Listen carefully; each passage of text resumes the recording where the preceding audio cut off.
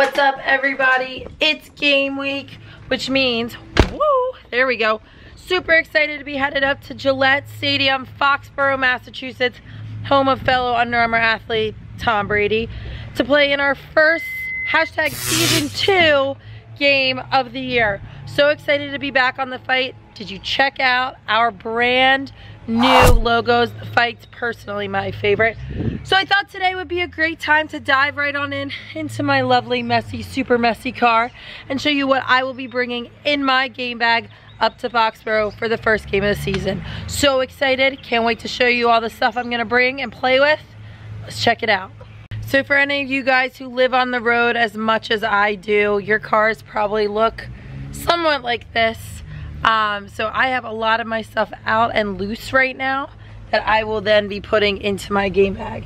So first and foremost, some Under Armour slides. The turf's gonna be super hot. You know what it's like wearing your cleats for an hour, hour and a half. They are gonna 100% be on my feet the second that the game is done. In addition, a lot of my goodies are in my big Under Armour stick bag from US. It still even has my little name tag on it because, you know, I don't throw anything out. In addition, gonna be bringing a variety of sticks some of my Under Armour sticks, as well as some of my US sticks are gonna be headed up with me as well. Gonna have a couple different headbands. Woo! Couple different headbands and hats to bring up to the games as well.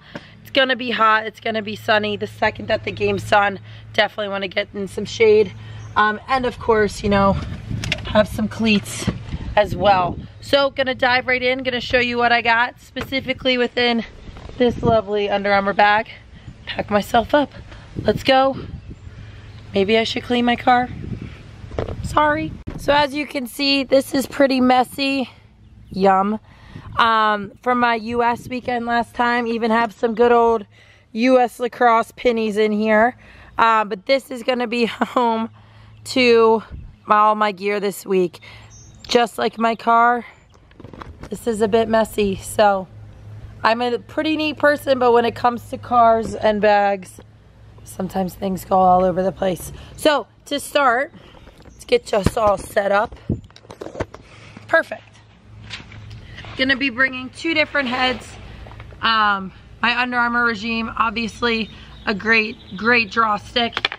In addition to the brine stick that I use at US, WPLL is now sponsored by Brine. So hopefully I'll be able to mix, use a mix of both my Under Armour and Brine gear.